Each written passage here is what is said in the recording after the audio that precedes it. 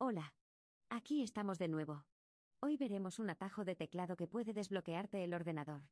No voy a decir que sea 100% efectivo, pero dado que estadísticamente la mayoría de los bloqueos del PC son debidos a problemas con los drivers de la tarjeta de vídeo, llamada también tarjeta gráfica, si sabemos el atajo que reinicia dichos drivers, es alto probable que funcione el desbloqueo.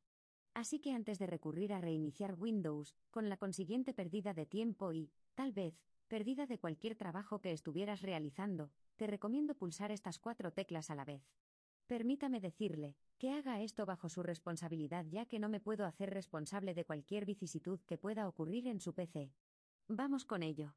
Estas son las teclas. Se las enseño en este teclado para que lo tenga más fácil.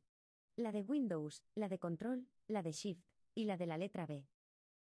Hecho esto, durante unos segundos, la pantalla puede que se ponga negra o parpadee durante, pero no se asuste que en unos segundos su computadora volverá a la normalidad.